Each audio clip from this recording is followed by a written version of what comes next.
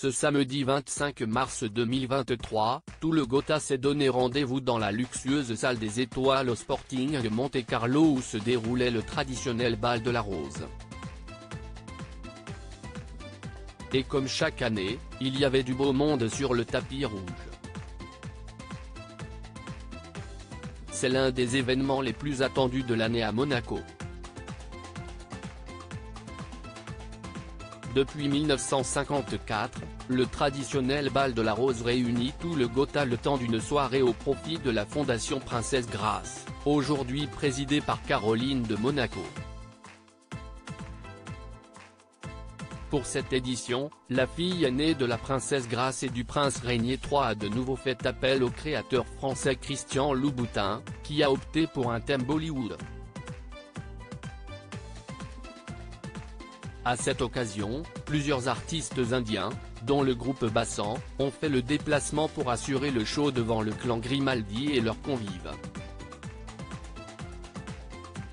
Une princesse bien entourée cette année, la princesse Caroline de Monaco était entourée de ses deux garçons Andrea et Pierre Casiraghi, qui étaient tous deux accompagnés de leurs femmes respectives, Tatiana Santo Domingo et Béatrice Borromeo.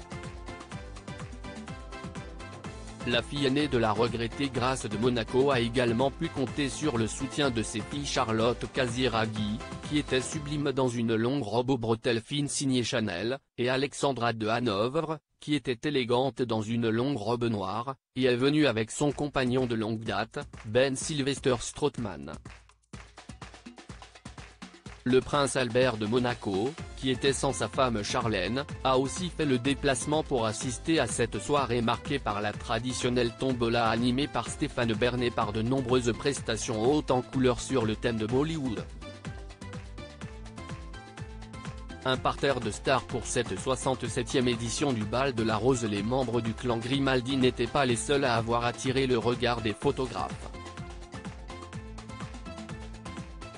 De nombreuses personnalités ont fait le déplacement pour assister à cette nouvelle édition du Bal de la Rose, à commencer par le chanteur Mika, qui a notamment pris la pose avec le créateur Christian Louboutin.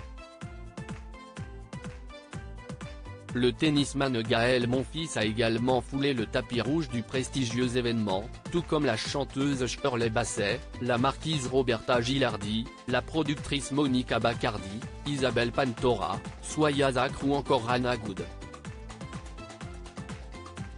Article écrit en collaboration avec Simedia à lire aussi On m'a prévenu que j'allais être kidnappé, le prince Albert de Monaco raconte son anniversaire très spécial organisé par ses enfants.